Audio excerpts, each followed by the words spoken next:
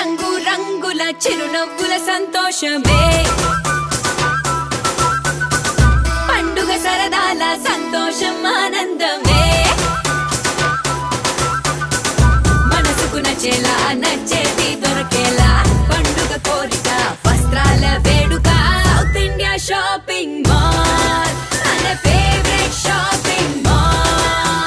South India shopping మాల్లో అద్భుతమైన wedding collections South India shopping mall GT Road Nellore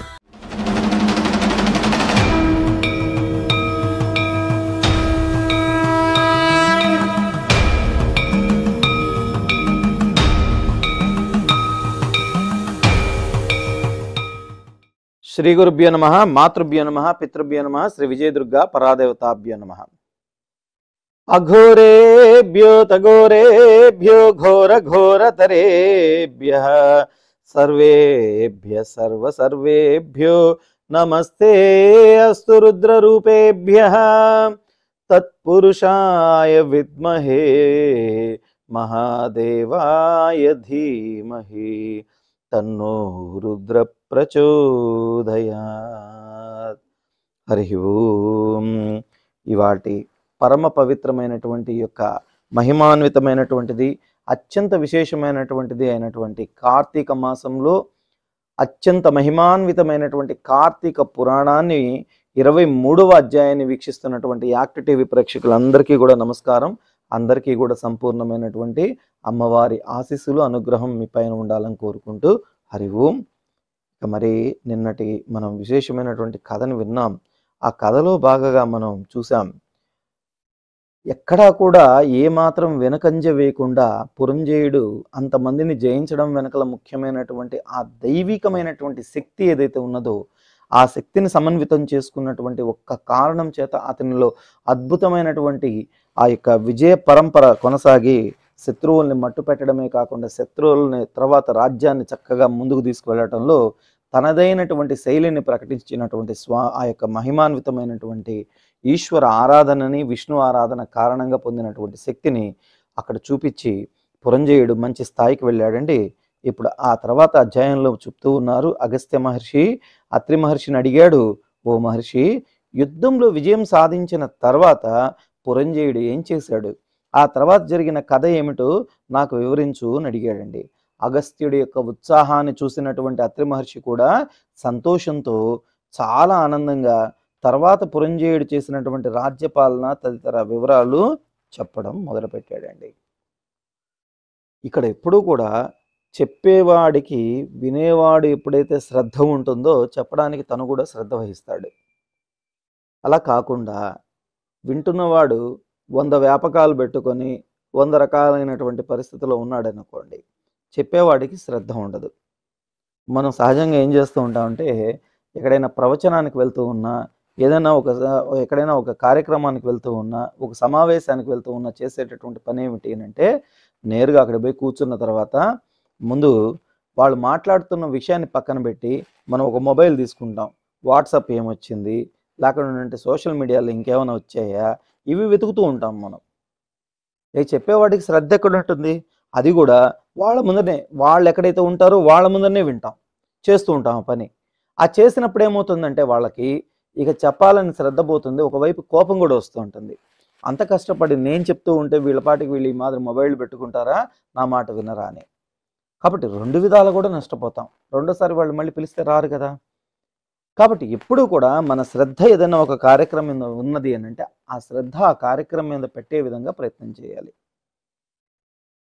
ఈ మొబైళ్ళు ఇవన్నీ కూడా సాధనాలు ఎంతవరకు మనిషికి ఉపయోగపడగలగాలంటే దూర ప్రాంతాలలో మనకు రావాల్సిన సమాచారాన్ని బట్టి దాన్ని ఎలా చేయాలనేటటువంటి ప్రయత్నం చేయాలి.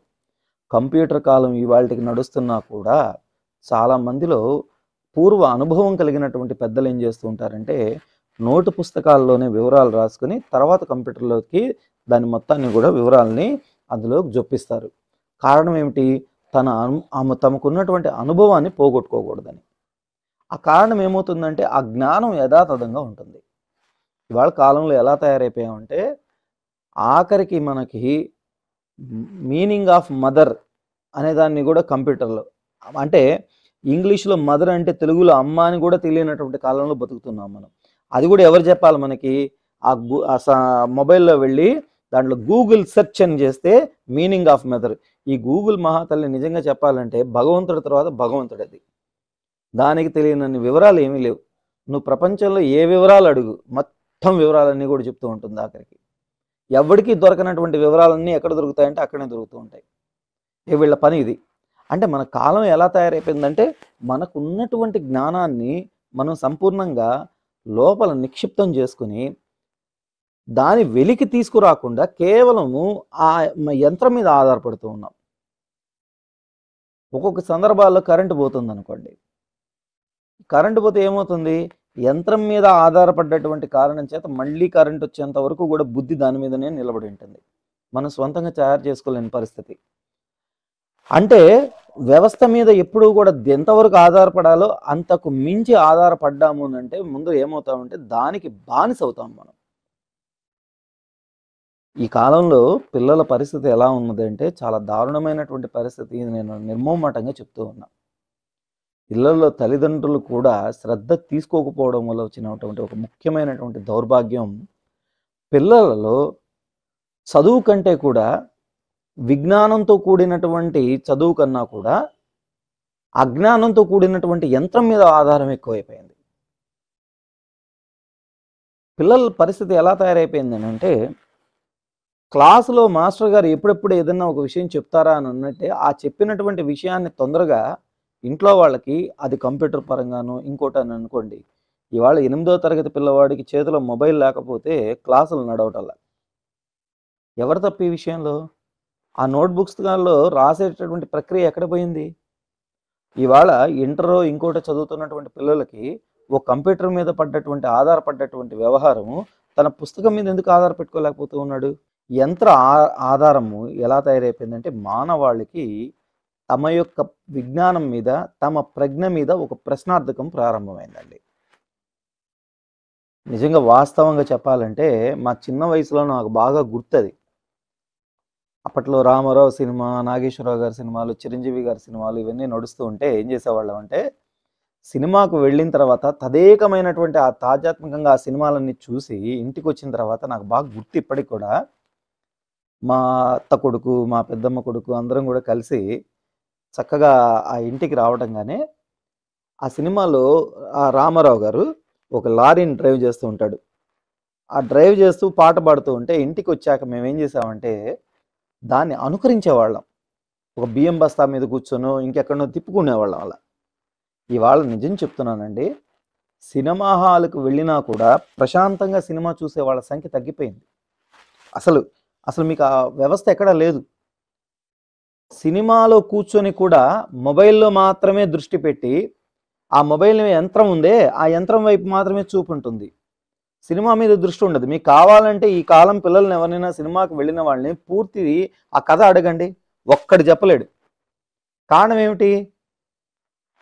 అక్కడికి వెళ్ళినా కూడా ఎక్కడికి వెళ్ళినా కూడా చేతిలో ఉండేటటువంటి యంత్రం మీద ఉన్నటువంటి ఆధారపడినటువంటి ఆ పరిస్థితి మనిషి యొక్క ప్రజ్ఞ ఏమవుతుందంటే అవసరానికి మించి వాడటం వల్ల దానికి ఏమవుతున్నాడంటే బానిస అవుతున్నాడు. ఇవాళ అది లేకుండా బతకలేని పరిస్థితికి తయారైపోయాం మనం. ఇక దాని పరంగా ఎట్లా ఉంటుందంటే ఓ మంచి ప్యాంటు కొనుక్కున్నట్టు ఒకడు. భలే ఉంది ప్యాంటు చాలా బాగుందని కొనుక్కున్నట్ట. ఈ ప్యాంటుకు ఒక మంచి చొక్కా కూడా పడితే బాగుండు అనుకొని చొక్కా కొనుక్కున్నట్ట. చొక్కా కొనుక్కున్న తర్వాత ఇదేదో భలే ఉందిరా బాబు అని చెప్పి దానికి ఒక బెల్ట్ వేసుకున్నట్ట మళ్ళీ కొనుక్కున్నట్ట. ఏ బెల్ట్ చొక్కా అంతా బాగుందే ఓ టై కూడా వేస్తే బాగుండు అని అనుకున్నట్ట టై కూడా చక్కగా దొరికింది అది కూడా వేసుకున్నట్ట ఇన్ని వేసుకుని కాళ్ళకి చెప్పులు వేస్తే ఏం బాగుంటుంది? దానికి ఒక షూ పడాలి కదా అని ఒక షూ కొనుక్కున్నట్ట షూ అంతా వేసుకున్న తర్వాత వాడిని పోయి అందంగా చూసుకుంటే పైన ఎక్కడో ఏదో వ్యత్యాసం కనపడుతుంది అని ఒక కోటు తెచ్చుకున్నట్ట మొత్తం మీద ఒక సూటు కోటు దేని మీద? ఒక ప్యాంటు కొనుక్కోవాలని వెళ్ళినటువంటి వాడికి ఈ మొత్తం ఈ వ్యవస్థ అంతా కూడా ఏమైందంటే అంటే ఒక రెండు వేల రూపాయలు ఆరు వందల రూపాయలు వెయ్యి రూపాయలు మూడు వేల రూపాయలు ఎంతో ఒక ప్యాంటు కోసం పోయినవాడు ముప్పై వేల రూపాయలు పెట్టేసేసి మిగతా వస్తువులు కూడా కొనుక్కున్నాడు. ఇవాళ పరిస్థితి కూడా ఒక మొబైల్ కొనుక్కుంటున్నాం అనేటటువంటి ధ్యాసలో ఉండి మొబైల్ కంటే కూడా దానికి కొనుక్కునేటటువంటిది హెడ్సెట్లు లేకపోతే ఇంకా రకరకాలైన సెట్లు ఆ సెట్లు ఈ సెట్లు లేకపోతే దానికి ఏదో ఛార్జర్లు దానికి ఏదో బ్యాటరీలు పవర్ బ్యాంకులు లేకపోతే ఇంట్లో మళ్ళీ దాన్ని పెట్టుకోవడానికి ఒక సెట్లు ఇవి కొనుక్కోవడంలో మొబైల్ విలువ కంటే కూడా వస్తువుల విలువ ఎక్కువైపోయాయండి. కారణం ఏమిటి ఇదంతా వ్యవస్థలో వస్తువు మీద బానిసత్వము. దీని నుంచి మనిషి బయటకు రాగలిగితే దేనైనా సరే ఎప్పుడు ఏం చేయాలి? ఏ స్థాయిలో ఎంతవరకు దేనిని ఎంతవరకు ఉంచాలో అంతవరకే ఉంచాలి.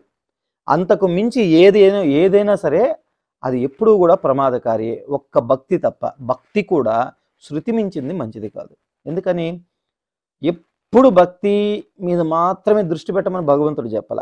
భక్తితో పాటుగా నిరంతరం నీ ధర్మాన్ని కూడా నువ్వు చేయవలే. నువ్వు ఆయన పూర్తిగా కూర్చొని ఆరాధిస్తున్నావు అంటే సన్యాస దీక్ష చేసినటువంటి వారు కూడా ఆ సన్యాస దీక్ష నిర్వహించుకుంటూనే తాము చేయవలసినటువంటి పనులన్నీ చేసుకుంటూ ఉన్నారు. తమ ధర్మాన్ని కాపాడుతున్నారు. ఎలా? పది మందికి మంచి జరగాలి. ఎందుకని? నాలో ఉన్నటువంటిది వాళ్ళలో ఉన్నది అనేటటువంటి ఆలోచన. నిజంగా ఇవాళ ఎవరైనా గుండె మీద చేయి వేసుకొని చెప్పమని చెప్పండి. పూర్వంలో ఒక వాళ్ళ ఊర్లో ఉన్నటువంటి ఆటలకు సంబంధించినటువంటి ఒక ఏదైతే మైదానం ఉన్నదో ఆ ఆటల మైదానంలో ఉన్నటువంటి సంఖ్య ఎంత? ఈవాల్టి కాలంలో వెళ్తున్నటువంటి పిల్లల సంఖ్య ఎంత? అసలు అప్పట్లో వెళ్తే విపరీతంగా దాని చుట్టూ కూడా జనాలు ఉండేవాళ్ళు ఎప్పుడు ఆడుకునేవాళ్ళు చాలామంది కనిపించేవాళ్ళు. ఇవాళ యంత్రంలో ఆట మొదలు పెట్టారు దేని మీద ఉంది? ధ్యాసంతా ఎక్కడున్నది? వేళ్ళ మీద ఉంది. అక్కడ కాలు చెయ్యి మొత్తం శరీరం కదలిక. ఇక్కడ వేళ్ళ మీద కదలిక. శరీరం మొత్తం కదలిక వల్ల శరీరంలో వచ్చేటటువంటి ఆటల కారణంగా ఆ- ఆరోగ్యంగా ఉండేవాళ్ళు. ఇవాళ ఒత్తిడి వేళ్ళ మీద పెట్టడం వల్ల ఏమవుతుందంటే రకరకాలైనటువంటి శారీరక రుగ్మతలు ప్రారంభమయ్యాయి. ఇది మన భారతీయ సాంప్రదాయానికి సాదృశ్యం. ఇది మన చేనేత చెరకుతో చేసే అద్భుత ఆవిష్కరణ.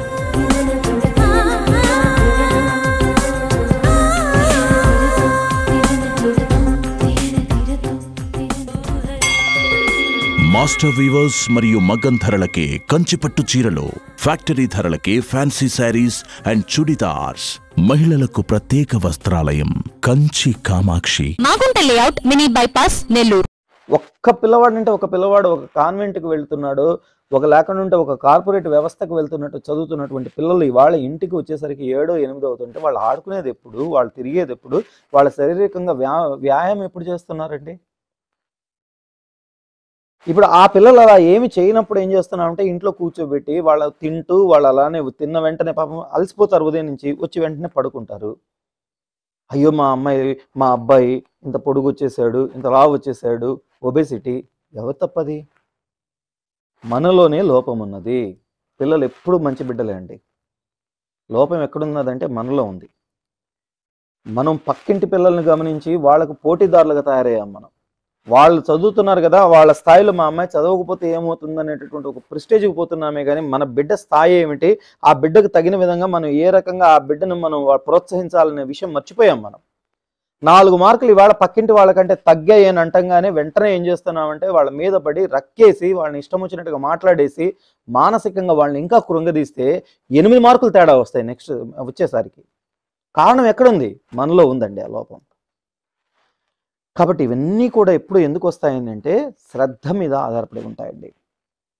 అలా ఇక్కడ గమనిస్తే అగస్త్యుడి యొక్క ఉత్సాహాన్ని చూసినటువంటి అత్రి మహర్షి కూడా ఎంతో ఆ సంతోషంతో యుద్ధం తర్వాత పురంజయుడు చేసినటువంటి రాజ్యపాలన తదితర వివరాలన్నీ కూడా చెప్పడం ప్రారంభించాడండి. కార్తీక మాస వ్రతం చేయటం ద్వారా పురంజయుడు గొప్ప దైవబలాన్ని పొందాడు. అతడి తేజస్సు చాలా బాగా పెరిగింది. శత్రుశేషం ఉండకూడదంటూ పెద్దలు చెప్పినటువంటి మాటల్ని చక్కగా ఆచరణలోకి తీసుకొచ్చాడు. అందుకని ఏం చేశాడంటే తన చూపు కనుచూపు మేరలో ఉన్నటువంటి శత్రువులందరి మీద యుద్ధం చేసి గెలిచాడు. తన రాజ్యానికి శాశ్వత రక్షణ కల్పించాడు. ఎందుకంటే పూర్వానుభవం.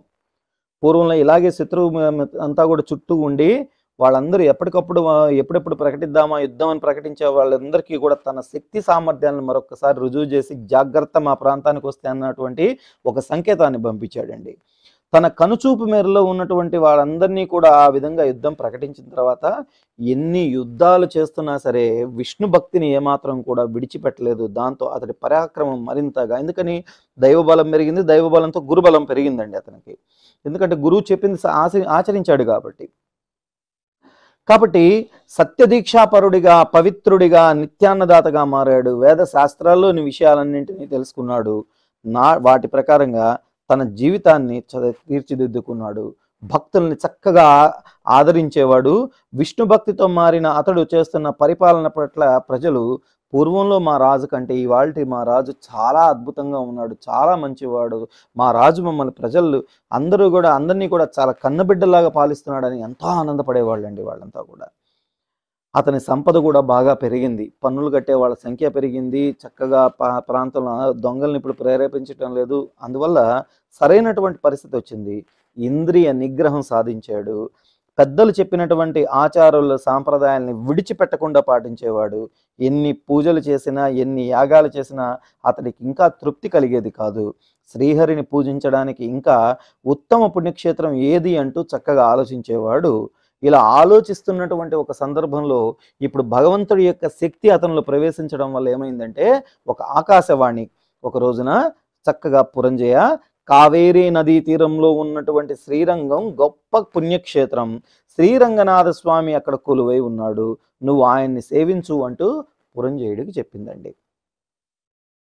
అప్పటికి ఇప్పటికీ ఉన్నటువంటి ఒక వ్యత్యాసం అదేనండి. అప్పట్లో ఏదన్నా ఒక ఆకాశవాణి చెప్తుంది అంటే భగవంతుడు చెప్తున్నాడు అనేటటువంటి ధైర్యం వాళ్ళకు ఉండేది. ఇవాళ అలా ఎవరినైనా ఉండమని చెప్పండి. దారిలో ఎవడైనా పోతూ ఉంటే ఎవడైనా గాల్లో ఒక మాట కానీ వినిపించిందంటే అక్కడి నుంచి ఒక పరుగు పరిగెత్తి ఇంటి దగ్గరికి వచ్చి గడగడ వణుకుతూ దుప్పటి కప్పుకొని పడుకుంటాడు. లేదంటే ఆంజనేయ స్వామి స్తోత్రం చేస్తాడు. మనకు మంచి చేయాలని ప్రయత్నం చేసేటటువంటి దేవుడిని కూడా మనం చూసి భయపడేటటువంటి కాలంలో బతుకుతూ ఉన్నాం మనం. కాబట్టి ఆకాశవాణి యొక్క మాటలను విని ఎంతో ఆనందించి కొంతకాలానికి చక్కగా శ్రీరంగానికి చేరుకున్నాడండి. అక్కడ స్వామిని దర్శించి అమితమైనటువంటి ఆనందం పొందాడు. ఆధ్య తాధ్యాత్మ్యం పొందాడు. ఆ స్వామి ముందర చక్కగా చేతులు జోడించి నిలబడ్డాడు. గోవింద గోపాల హరి అనంత అచ్యుత ముకుంద దయానిధి కరుణా సముద్ర సాగర ఓ భగవంతుడా అని చెప్పి అంటూ అనేక విధాలుగా నమస్కారాలు చేశాడు. స్వామిని దర్శించుకున్న ఆనందంలో ఒక్కసారిగా ఎంతో ఉద్విగ్నతకు గురయ్యాడండి. అంటే తాధ్యాత్మికంగా వెళ్ళిపోయాడు. స్వామిని చూడ్డంగానే ఆనంద పారస్యమైపోయాడు చుట్టూ ఉన్నటువంటి లోకమంతా మర్చిపోయాడు. స్వామిని మాత్రమే తేరిపార అలానే చూస్తూ ఉన్నాడు. ఆ ఏడాది కార్తీక మాసం పూర్తిగా సంపూర్ణంగా ఆ ముప్పై రోజుల పాటు కూడా శ్రీరంగంలోనే ఉన్నాడు. శాస్త్రంలో చెప్పిన అన్ని నియమాలు పాటిస్తూ కార్తీక వ్రతాన్ని ఆచరించాడండి. ఇప్పుడు అలా తీసుకున్న వెంటనే ఆయన ఎవరు? ఆయన వృత్తి ఏమిటి? రాజు. దైవిక చింతనలోకి వెళ్ళిపోయాడని ఇక నాకు ఇదే చా శాశ్వతము చాలా బాగుంది. నేను ఇక్కడ ఉండిపోతానని అనుకున్నాడు అనుకోండి. అతను రాజు అవ్వడు. అతని వ్యక్తి అవ్వడు. అంటే ఏవి ఎంతవరకు ఎంత అవసరమో అంతా ఉండాలి. తన ధర్మాన్ని నిర్వర్తించాలి. కాబట్టి రాజు ఏం చేశాడు? స్వామివారి ఆశీస్సులు తీసుకున్నాడు. చక్కగా ఏమైంది? మళ్ళీ తిరిగి విశేషమైనటువంటి ఆ యొక్క తన రాజ్యానికి మళ్ళీ వెళ్ళటం జరిగిందండి. శ్రీరంగం నుంచి రాజ్యానికి చేరుకున్న తర్వాత పురంజయుడు తన విష్ణు భక్తిని ఏమాత్రం కూడా విడిచిపెట్టలేదు. మనమైతే ఏం చేస్తాం? ఓ దేవాలయానికి పోవడంగానే మొక్కుబడి ఉన్నది. స్వామికి తలనీలాలు ఇవ్వాలి. ఏ తలనీలాలు ఇచ్చేంతవరకు వెంకటేశ వెంకటేశ వెంకటేశ వెంకటేశ అయిపోయింది. తలనీలాలు ఇచ్చేసి వచ్చిన తర్వాత ఇక అయిపోయింది. వెంకటేషు వెంకటేషు వెంకటేషు సినిమా హాల్ మళ్ళీ. పూర్వం వెంకటేశ వెంకటేశ తలనీలాలు ఇచ్చేసి డ్యూటీ అయిపోయింది కదా ఇక దేవుడితో పనిలే. ఎందుకంటే ఆయనకి ఇవ్వాల్సిన బాకీలు అయిపోయినాయి ఆయన దగ్గర ఏం అడగాలో అవన్నీ అడిగేసాం ఇప్పుడు నెక్స్ట్ ఏంటి సినిమా హాల్లో కూర్చొని వెంకటేషు వెంకటేషు. వెంకటేశ వెంకటేషు తేడా. కారణం ఎక్కడొచ్చింది? ఇక్కడ భగవత్ భక్తికి వెళ్ళినా కూడా భగవంతుని యొక్క భక్తితో చేయవలసినటువంటి కార్యక్రమాలు పూర్తయినా కూడా తిరిగి భగవంతుణ్ణి యథాతథంగా ఆరాధించేటటువంటి వాడికి తిరిగి తిరిగి అనేకమైన శక్తులు వస్తాయి. మనకు ఒకసారి ఆయనతో పని అయిపోయింది అనుకోండి ఇక మళ్ళీ దగ్గర కూడా పోం. మళ్ళీ ఎప్పుడు పోతామంటే మళ్ళీ పని పడినప్పుడు ఆయన దగ్గరికి వెళ్ళి మళ్ళీ ఆయనకి ఓ టెంకాయ కొట్టి మళ్ళీ తే- తేరగా పైన ఖాళీగా ఉన్నాయి కదా తలనీలాలు అవి అట్ట ఆయన చేతిలో పెట్టేస్తే పని అయిపోతుంది. భక్తి ఎక్కడుంది మనకి కాబట్టి ఆ భక్తిని తనలో ఎప్పుడు కూడా పెంచుకోవాలి. ప్రజలకు ఆనందం కలిగేలాగా రాజ్యపాలన చేశాడండి. క్రమంగా అతడికి వృద్ధాప్యం వచ్చింది. దాంతో రాజ్యాన్ని వారసులకు అప్పగించి తన వానప్రస్థ ఆశ్రమాన్ని స్వీకరించాడండి. జీవితపు చివరి రోజు కూడా విష్ణు భక్తితో అర్చనలను నిర్వహిస్తూ గడిపినటువంటి పురంజయుడు మరణం తర్వాత విష్ణు సన్నిధిని చక్కగా చేరుకున్నాడండి. కాబట్టి తన చివరి దశలో ఎప్పుడూ కూడా విష్ణువు యొక్క అనుగ్రహాన్ని పొందడంతో సంపూర్ణంగా ఎందుకంటే ఇక్కడ పురంజయుడిని మీరు గమనించారనంటే వయసులో ఉన్ననాటి నుండి కూడా వృద్ధాప్యం వరకు కూడా విష్ణు భక్తితో అలానే స్థిరపడిపోయాడు మహానుభావుడు. అలా నిలబడ్డాడు స్థిరపడ్డాడు ఆయన. అలా నిలబడి స్థిరపడ్డటువంటి మహానుభావుడు అవటం వల్ల ఏమైందంటే ఆయనకు వృద్ధాప్యం వచ్చినా కూడా సాక్షాత్తు కళ్ళ ముందర గోచిస్తున్న గోచరిస్తున్నటువంటి విష్ణువు అలానే కళ్ళ ముందర అలానే కనిపిస్తూనే ఉన్నాడు ఆయనకి. ఎందుకని? నిరంతర ఆరాధన ఎవరి మీద ఉన్నది? ఆయనకి విష్ణుమూర్తి మీదనే ఉన్నది. ఇప్పుడు కంటి ముందర ఎవరున్నారు? ప్రతి క్షణం కూడా వృద్ధాప్యం వచ్చినా యువకుడుగా ఉన్నా ఎప్పుడున్నా ఆయన దృష్టి విష్ణు విష్ణు విష్ణు విష్ణు విష్ణు విష్ణువు. కాబట్టి చివరి అంత దశలో కూడా ఏమయ్యాడు అంటే మహావిష్ణువు యొక్క అనుగ్రహాన్ని పొందే నిమిత్తంగా చక్కగా ఆ వృద్ధాప్యపు దశలో కూడా ఏం జరిగింది అంటే ఆయనని ఆ అనుగ్రహాన్ని పొందుతూనే ఆయన పైననే మమేకం అవుతూ ఆయనలోనే సంపూర్ణంగా నిమగ్నమై ఆయన యొక్క అనుగ్రహాన్ని పొందుతూ అనుక్షణం ఆయన ఆరాధన చేసుకుంటూ చక్కగా చివరికి ఏమయ్యాడు అంటే విష్ణు సన్నిధికి చేరుకున్నాడండి. ఓ అగస్త్య మహర్షి కార్తీక వ్రతం చాలా ప్రభావం కలిగింది. ప్రతి మనిషి ఈ వ్రతాన్ని తప్పకుండా ఆచరించాలి అని చెప్తూ పురంజేయుడి యొక్క కథ చదివిన వారికి కూడా అనేకమైనటువంటి పుణ్యాలు కలుగుతాయి. ఇప్పుడు పురంజేయుడు కథ చదవడంగానే పుణ్యం వస్తుంది అని అంటే రోజు ఈ పుస్తకాలు పెట్టుకొని అధ్యాయాలు పెట్టుకొని రోజు ఆయన కథ చదవడం కాదు. కథ చదివిన తర్వాత దాన్ని ఆచరణాత్మకంగా కూడా మనం చేయడానికి ప్రయత్నం చేయాలి దాన్ని. యథాతథంగా ఆయన ఎలా చేశాడో అలాగ ఆచరించాలి. దైవ ఆరాధన చేస్తూ ఉండాలి దైవ ఆరాధన చేస్తూ ఉండాలి దైవ నామాన్ని జపం చేస్తూ ఉండాలి దైవం యొక్క శక్తిని సంపూర్ణంగా జపం చేసుకుంటూ ఉండాలి. అలా ఆ జపాన్ని చేస్తూ ఉన్నటువంటి వాళ్ళు అద్భుతమైనటువంటి సంపూర్ణమైనటువంటి శక్తిని పొందుతారు. ఇంతేకాని అవసరం కొద్దీ దేవుడు ఎప్పుడు అవసరమైతే అప్పుడు అవసరం లేనప్పుడు దేవుడు పక్కన పెట్టేయటం. అన్నీ జరుగుతూ అంటే మనిషి ఎట్లా ఉంటాడంటే ఏదైనా ఓ మంచి కార్యక్రమం జరిగిందంటే అది తాను చేశాడు అని చెప్పుకుంటాడు. అందులో ఏదైనా ఓటమి వస్తే ఏమిటో దేవుడు ఉన్నాడు నా మీద దృష్టి పెట్టలా ఎందుకు పెడతాడు నీ మీద దృష్టి? నువ్వు కార్యక్రమం చేసేటప్పుడు విజయవంతమైనప్పుడు ఎప్పుడైనా దేవుని తలుచుకున్నావా నువ్వు? అలాగే ఈ ఓటమి చెందడానికి కారణం ఏమిటి? దాని ముందు ఆ కార్యక్రమాన్ని చేస్తూ ఉన్నప్పుడు ఆయన ఒకసారి స్మరించి స్వామి నీ యొక్క అనుగ్రహం ఇవ్వయా అని ఎప్పుడైనా ప్రార్థించావు ఆయనకి? అందుకే దేవాలయ ఎప్పుడైనా సరే ఏ కార్యక్రమం మొదలు పెడుతున్నా మన వాళ్ళు ఏం చేస్తారంటే ఒక శంకుస్థాపనను లేదంటే ఏదో ఒక ధ్వజస్తంభ ఇదేనో ఏదో ఒకటి చెప్తూ ఒక ధ్వజాన్ని అక్కడ నాటడము ఏదో ఒకటి చేసి ఒక పూజ ఆరంభంతో మిగతా కార్యక్రమాలన్నీ మొదలు పెడతారు. ఎందుకంటే ఆ దైవ శక్తి లేకపోతే ఏది సాధ్యం కాదు. కాబట్టి అంత అద్భుతమైనటువంటి ఆ దైవ శక్తిని పెంపొందించేటటువంటి దశ జరగకపోతే దిశ జరగకపోతే మనిషి ఊర్ధ్వస్థితికి వెళ్ళలేరు. కాబట్టి అంత అద్భుతమైనటువంటి ఆ స్థితికి వెళ్ళడానికి ప్రయత్నం చేసినటువంటి వారికి సదా సర్వదా ఎప్పుడూ కూడా శుభాలు చేకూరుతాయని మనస్ఫూర్తిగా తెలియజేసుకుంటూ ఈ అధ్యాయం ద్వారా మీ అందరికీ కూడా అమ్మవారి అనుగ్రహం సదా సర్వదా ఏర్పడి మాతృమూర్తులందరికీ దీర్ఘ సుమంగళ యోగంగా అందరికీ పెద్దలందరికీ కూడా వ్యాపారం వృత్తుల్లో మంచి స్థాయికి వెళ్ళాలని కోరుకుంటూ స్వస్తి.